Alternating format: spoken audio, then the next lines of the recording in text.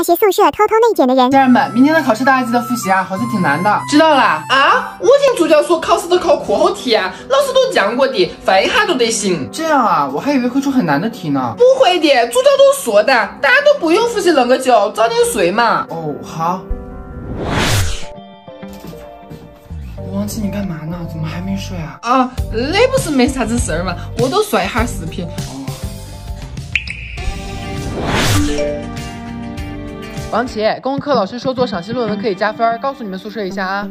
要得。王琦，你今天没去图书馆？我不去啊，也没啥子要学的。哦，你写什么呢？啥子都没写啊，我看看剧休息一下。哦。小慧，你干嘛呢？出去逛逛呀。哦，我整理一下公共课的笔记。走吧，刚写完了。走。看好像哪个写论文。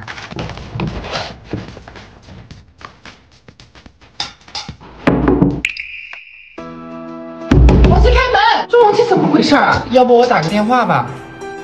王琪，你干嘛呢？快开门，没带钥匙。王琪，你在里面干嘛呢？王琦，王琦，干嘛呢？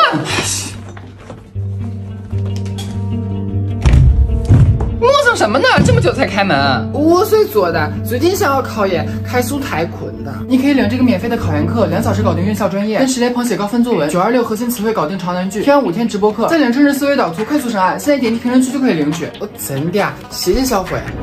哎，小慧，你知道工科论文加分的事吗？怎么咱们宿舍没人说呀？啊，不知道哎。王琪，你知道吗？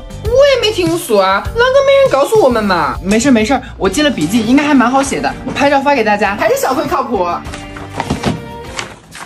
啊，我今天刚写好的笔记，怎么缺两页啊？